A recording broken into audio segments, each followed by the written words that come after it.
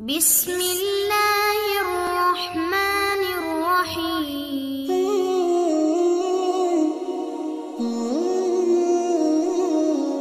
സയ്യിദുന ഇബ്രാഹിം നബി അലൈഹിസ്സലാം ഒരിക്കൽ തന്റെ വീട്ടിലേക്ക് വന്നു നോക്കുമ്പോൾ മലക്കുൽ മൗത്ത് അസ്രായിൽ അലൈഹിസ്സലാം അപരിചിതനായ ഒരു ചെറുപ്പക്കാരന്റെ രൂപത്തിൽ അവിടെ പ്രത്യക്ഷപ്പെട്ടിരിക്കുന്നു ഇബ്രാഹിം നബി അലൈഹിസ്സലാം ചോദിച്ചു വീട്ടിൽ പ്രവേശിക്കാൻ നിങ്ങൾക്ക് സമ്മതം തന്നത് ആരാണ് അസ്രായിൽ അലൈഹിസ്സലാം പറഞ്ഞു വീട്ടിന്റെ യഥാർത്ഥ യജമാനൻ. ഇബ്രാഹിം നബി അലൈഹിസ്ലാമിന് ആളെ മനസ്സിലായി. അസ്രായിൽ അലൈഹിസ്സലാം പറഞ്ഞു അള്ളാഹു തന്റെ അടിമകളിൽ നിന്ന് ഒരു ഖലീലിനെ ഒരു കൂട്ടുകാരനെ തിരഞ്ഞെടുത്തിരിക്കുന്നു.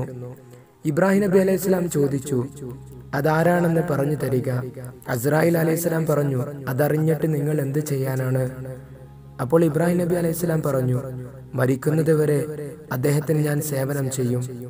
അസ്രായിൽ അലി ഇസ്ലാമിന്റെ മറുപടി താങ്കളെ തന്നെയാണ് അള്ളാഹു സുബാനുത്താല ഖലീലായി തിരഞ്ഞെടുത്തിട്ടുള്ളത്. ഇബ്രാഹിം നബി അലൈഹി സ്വലാം ചോദിച്ചു എന്നെ ഖലീലായി തിരഞ്ഞെടുക്കാൻ എന്താണ് കാരണം? അസ്രായിൽ അലൈഹി സ്വലാം പറഞ്ഞു അങ്ങ് എല്ലാവർക്കും ഉപകാരം ചെയ്യാനും ആരുടെ പക്കൽ നിന്നും ഒന്നും സ്വീകരിക്കാതിരിക്കാനും ഇഷ്ടപ്പെടുന്നു. എന്നതാണ്. ഇമാം ബൈഹഖി റളിയല്ലാഹു നിവേദനം ചെയ്യുന്ന ഹദീസിൽ ഇപ്രകാരം കാണാം. മുത്ത് ഹബീബ് സല്ലാഹു അലഹി വസ്ലമ തങ്ങൾ ജിബിരിൽ അലൈഹിസ്സലാമിനോട് ചോദിച്ചു ഇബ്രാഹിം നബി അലൈഹിസ്സലാമിനെ അള്ളാഹു ഖലീലായി തിരഞ്ഞെടുക്കാൻ കാരണം എന്താണ്? ജിബ്രീൽ അലൈഹിസ്സലാം പറഞ്ഞു മഹാനവറുകൾ എല്ലാവർക്കും ഭക്ഷണം കൊടുക്കും എന്നതുകൊണ്ടാണ്. അള്ളാഹു സുബാനുവത്താല അവന്റെ മുത്തഖീങ്ങളിലും മുഖലിസീങ്ങളിലും നമ്മെ ഉൾപ്പെടുത്തി അനുഗ്രഹിക്കട്ടെ. റബ്ബന ആത്തിന ഫിദ്ദുന്യ ഹസന വഫിൽ ആഖിറത്തി ഹസനത്തും മുഖിന അദാബന്നാർ السلام عليكم ورحمة الله وبركاته. صلى الله على محمد.